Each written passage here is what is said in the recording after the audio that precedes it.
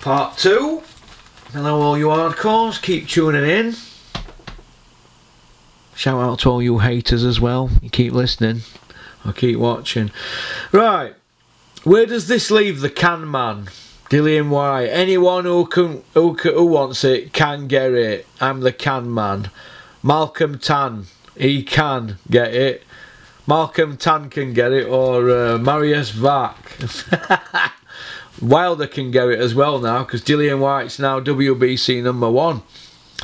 So, so where does it leave Dillian Whyte? Well, he's now the WBC number one. They've reinstated him, which means he can get two more pay-per-views in next year to take his pay-per-view total to six.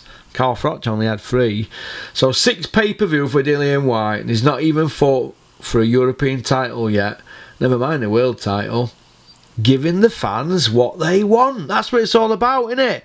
Dillian's fought fans, giving the fans what they want. You, the boxing fans, get your 25 quids out. That's what it's all about.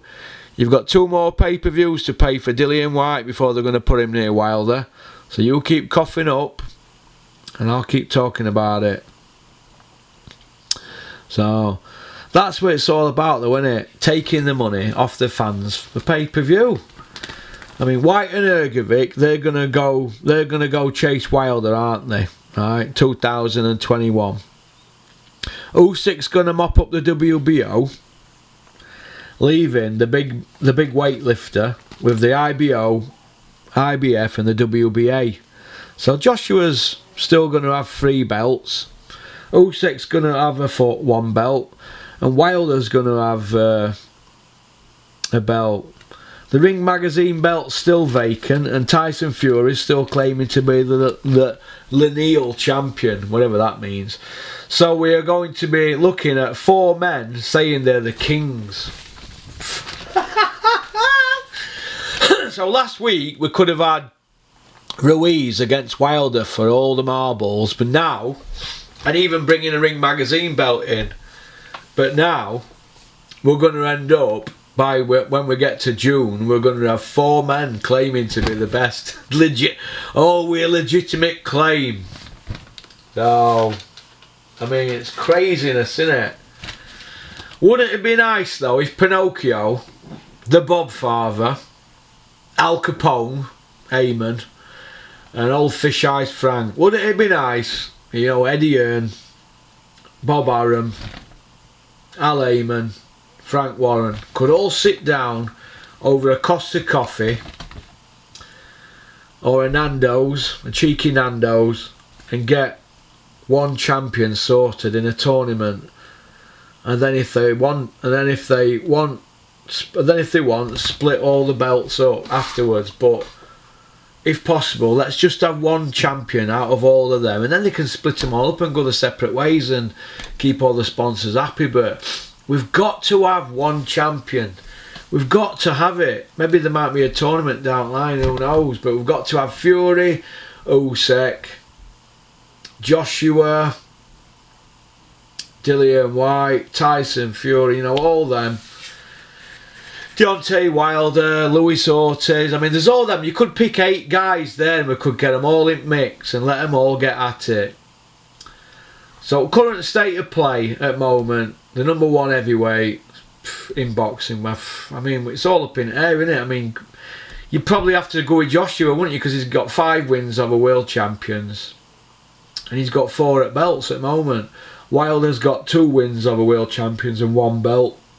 Fury's got this lineal belt that he goes on about, and he's got a win over Cunningham and Vladimir. But Fury's win over Vladimir is probably the best win out of all of them because, you know, Vladimir adult belts and he was still he'd been undefeated only nine and a half year. So I mean and if you if Usyk ends it with WBO there's going to be four guys there. I mean we could throw another four guys into mix. They all could have a tournament but how would they all be able to agree on money? They'd be going on about well I've got more belts than him so I should get more money than him and blah de blah and I'm an harder puncher than him so I should get more money than him and it's just never going to work innit it's you know it's just never going to work and we're all we've got so close to having one champion And now look what we've got now. We're, we're going to have four people claiming claim, and this is the blue blue ribbon division. Do you know what I mean? And, and now we've got all these YouTubers like hanging out at back of them because they've had a press pass. It's embarrassing. They're, they're all going to push this narrative on. They're not going to be talking like I'm talking now, are they here? Now are they heck? Are they heck? Do you know what I mean? I might put another billboard up actually at, at Christmas, make a phone call, put another billboard up. I think I've started saying saying poster, but it's not going to mean anything, me sticking billboards up around South Yorkshire, is it? Do you know what I mean? It's not going to mean anything, is it? So, what's it going to mean? It's just going to give me a load, going to give me an headache, and it's just going to, I'm just going to have to go through a load of paperwork. And I had to laugh though when somebody somebody commented on here the other day saying that we just put it up and it got torn down. What a load of old rubbish. No, got torn down. You're listening to too much poppycock, Mr. Danny Ryan. Don't listen to rubbish. Listen to the man himself. If I want, I'll stick another one up at Christmas if I want. I might put one up in a couple of weeks. Just for you, Danny Ryan, eh? Just for you. Eh? You don't just go around putting posters up without permission. You get in trouble off police. Can't do that. We don't break the law here at Porky's Corner, but I don't know. I don't know where boxing heads now. I'm a massive boxing fan. Heavyweight division is the blue ribbon. Right, the blue ribbon division. And if the heavyweight division's in a chaos, what what we're going to do? I mean, we've even got Floyd Mayweather coming back in May. What's all that about? Floyd Mayweather coming back.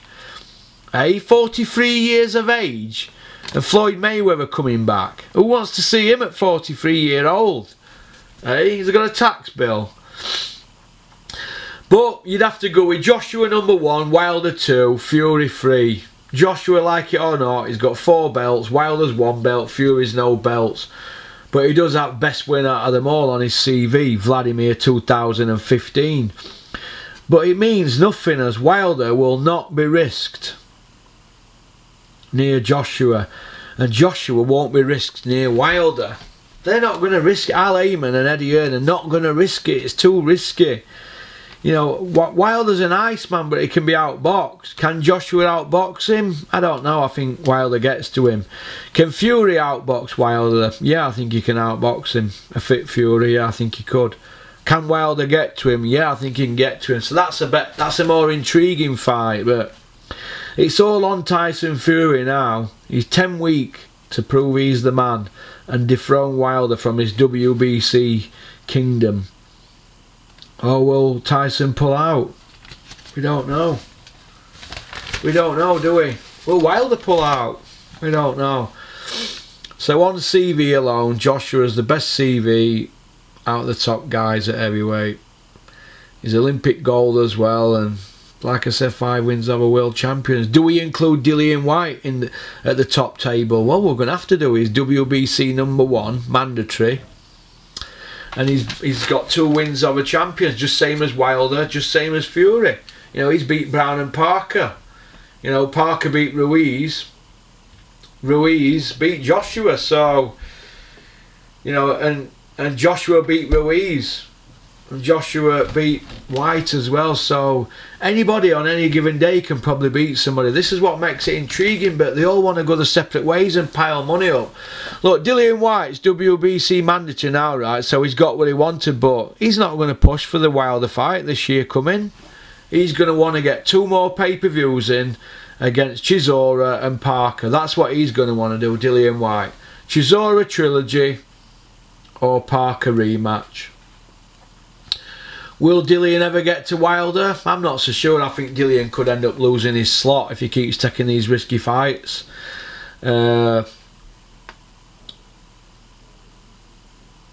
well, we now got to go through two more Dillian Whyte fights on Sky, with the narrative being that the WBC are in Al Haymon's or Al Capone, I call it, Al Capone's pocket, and that Dillian has been wronged by UKAD. That his two year ban a while back was harsh. Yeah, I think it was. As Enzo Maccarinelli got a six month ban, didn't he, for using an over the counter supplement. So Dillian is really the underdog. But it is still all a bit smelly from all involved, if you ask me, from Dillian knowing and Hearn knowing to Oscar Rivas not knowing. That leaves a bad taste in my mouth. Sky Sports will have known as well if Hearn knew, as he is their partner. He's their broadcast partner, isn't he? If Sky didn't know and Hearn did know, there'd be lawsuits flying about. But I am not going to be poster boy for what's right.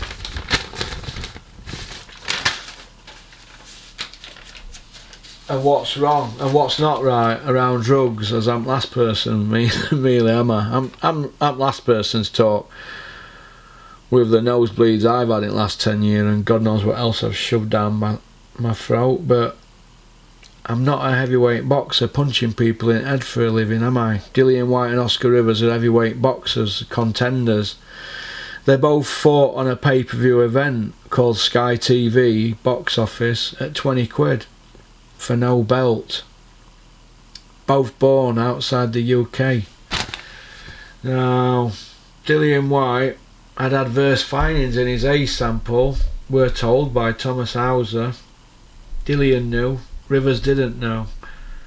And it's all gone away inside 171 days, which to me is not bad considering my friend Liam Cameron's been at it 22 a month and still fighting UKAD on his appeal verdict. So what I can't stomach in all this is the backslappers, the backtrackers, the people who had Dillian Whyte's back or say they did when they didn't. We know what I'm on about, don't we? Mr. Unbearable from Liverpool. That's what I can't stomach in all this as it gives me the ulcer. I can't have the ulcer. Finishing off I just want to thank all them who subscribed this month, all 162 people who simply pressed the red button for Uncle Porky. Thanks very much. A few more still need to press it, as according to my analytics today, 40.04% still watching an average of 119 minutes per day on my channel. But they're not subscribing, so they must be Matchroom FC mob, eh? On ticket deals for when Liverpool Echo Arenas open for Callum Smith shows and Beefy Smith shows. That must be it. That must be what it is, eh? I don't know, but thank you very much to all them people who subscribed. If you haven't subscribed, please feel free to do so because you get your porky fix straight away. And then you can comment in the comment section like Mr Box Clever who were begging me for a hoodie last week and uh, that Danny Ryan who don't even exist. And you spell Danny with two N's Danny not three hey oh my god. Hey but what can you do? Big shout out to my new assistant dealing with all the stuff behind the scenes email youtube channel comments and and business opportunities coming in and things like that. Thank you very much. Uh, and a massive shout out to innovation alloys and south yorkshire packaging services for backing the channel. The channel's growing at the moment and it's here to stay. And by looks of it dennis hobson's fight academy is growing as well so that's good, isn't it? Massive things lined up for Josh Wale in February and then in June or July. And uh, I'm in a good place for being part of uh, part of it all. Obviously working with Dennis and being part of Team Wale, helping out Mick Wale and Josh Wale. So thanks very much, Mick Wale. I know you're listening, and Josh, thank you very much. Both been fantastic to me and uh, showing me a different side of boxing. So thank you very much to everybody for listening. Peace out. Keep on trucking. Keep supporting boxing. Don't have nightmares. All right. Don't forget to leave a nice comment. All right. All your haters out there, I'm going to turn you into porky lovers. All right. So peace out. And shout out to my pal from Devon who's got cancer. I'm not going to say his name on here. But I hope he's alright. I hope you're alright, mate. And I'm thinking of you. It's not nice having cancer. And uh, it's not good at all. So try and stay strong and be positive. And I'm glad that my videos are, uh, are cheering you up. Alright, my friend, peace out, keep on trucking, keep supporting boxing. Oink, oink.